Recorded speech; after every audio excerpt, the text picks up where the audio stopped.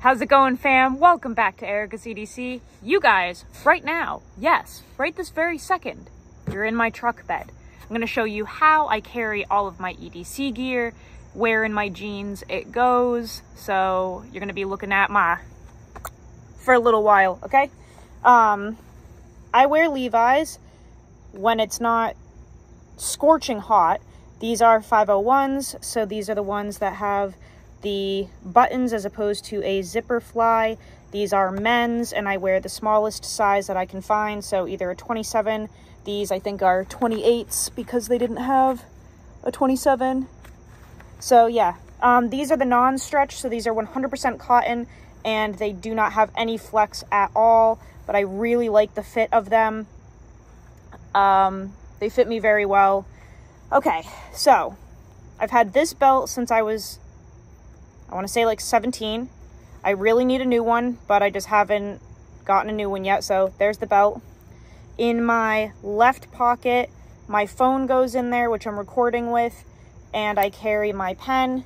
I use a pen at work all day, every day to record stuff about the dogs. So that goes there. And then also down in there, I have the infamous boring chapstick. In my right front pocket, this is where all the fun stuff goes. So I have my Spyderco Native 5 Lightweight. And this is in Maxamet. This is the knife that we're testing this month.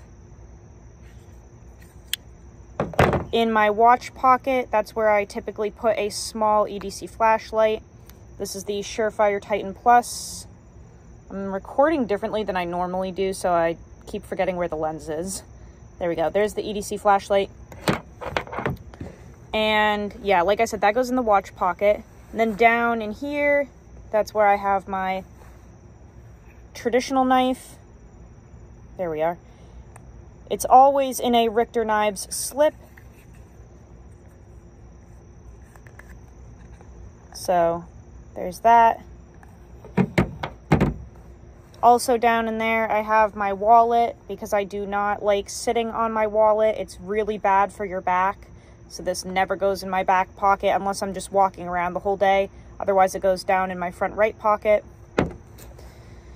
And my Swiss Army knife is down in there as well. This is the Super Tinker.